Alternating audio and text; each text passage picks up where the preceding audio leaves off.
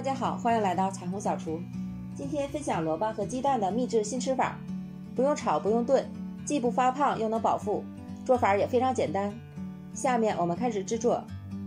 先准备一个萝卜，绿萝卜、白萝卜都可以，去皮后擦成丝。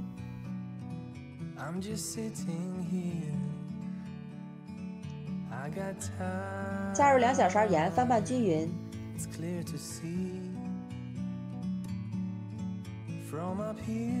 静置二十分钟，撒出水分，然后把水分攥干。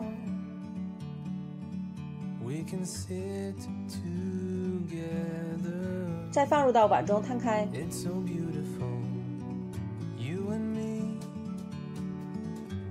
打入两个鸡蛋，搅拌均匀，使萝卜丝都裹上蛋液。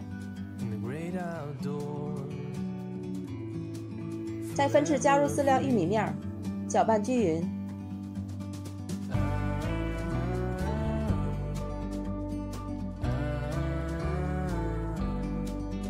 搅拌成像这种散开的状态就可以了。蒸屉中铺好打湿的屉布，倒入萝卜丝。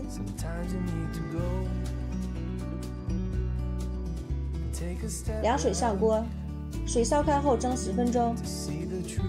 利用这个时间，我们来调个料汁儿。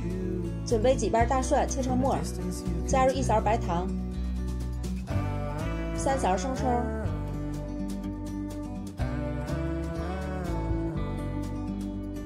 一勺香醋，适量辣椒油，不喜欢也可以不放。再加入香菜末，搅拌均匀备用。这时萝卜丝已经蒸好了，取出后抖散，再装入盘中，淋入料汁，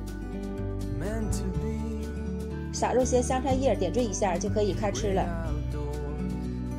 萝卜这样吃，不加一滴油，营养健康又能解馋。想减重瘦身的朋友们可以尝试这道菜。喜欢我的视频就关注我吧，我们明天见，拜拜。